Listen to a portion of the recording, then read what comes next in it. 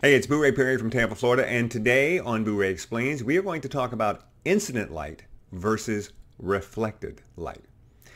This is one of those things that seems a little bit more complicated than it is. It's actually very, very simple. I think part of the problem is that we use the word incident, which not everyone knows what that word means. If I said to you direct light versus reflected light, it might be easier to understand. And very simply, uh, if you're outside, you're taking a picture of somebody outside, and they're being lit by the sun, right?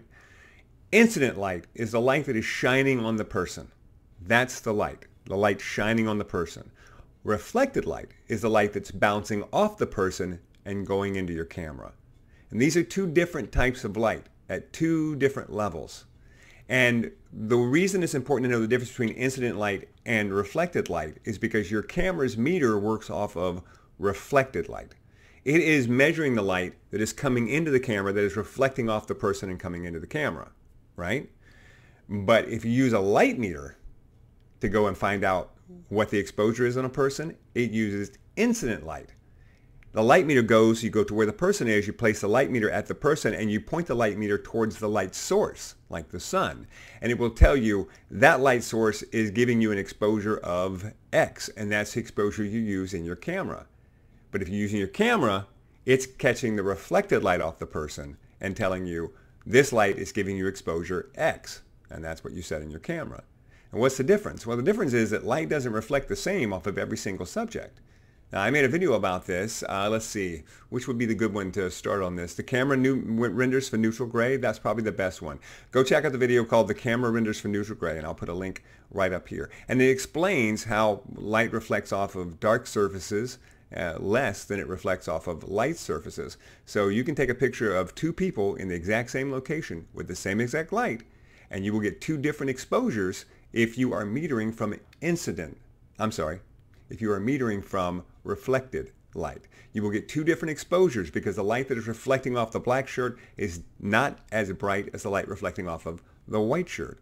And we get all of our metering most of the time from the meter that's inside our camera and that is reflected light. So basically your camera is lying to you quite frequently as to what the correct exposure is because the reflected light changes all the time based on the thing the light is reflecting off of. However, if you take an incident light meter and you go over and you get a reading, it's going to be the same. It doesn't matter what you're taking a picture of because the incident light meter is just reading the sun.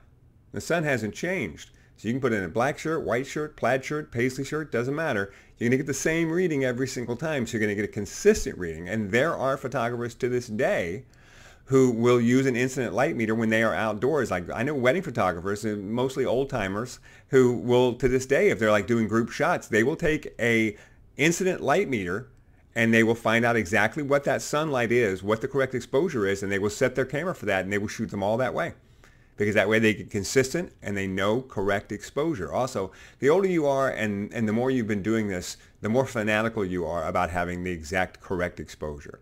You know, the younger you are, the more you're like, well, I'll fix it in post. I'll go in the raw file and I'll just move it around a little bit like that.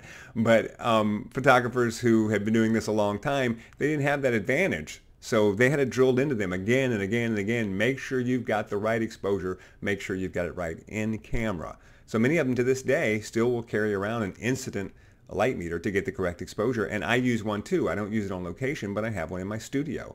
And when I'm setting up for studio portraits, I will take an incident light reading off of my main light to make sure I've got the correct exposure. So that's it. That's incident light versus reflected light. It's really not that hard to understand. Sometimes the words we use in photography can make it a little bit more difficult. Be sure and throw me a subscribe and give me a like and click the uh, notification button so that you'll know when more of these videos are coming out. I've got a lot of them. If you haven't watched the other videos in this series, basically by the time I'm done, I'm just going to teach you everything you need to know about photography with the series. that's that's that's the goal uh, that I'm going for. Uh, also, be sure and check me out on Instagram. Just go to at Ray Perry and join my group on Facebook, which is called Pro Photo Talk with Ray Perry. All right, stick around. There's a lot more to learn.